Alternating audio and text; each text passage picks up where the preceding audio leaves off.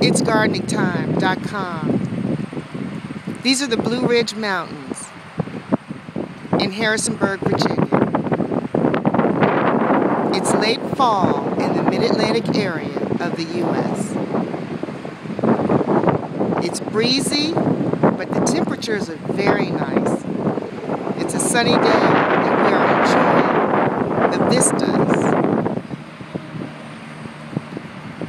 It's about health and wellness, rest and relaxation. Check our new health and wellness page at itsgardeningtime.com.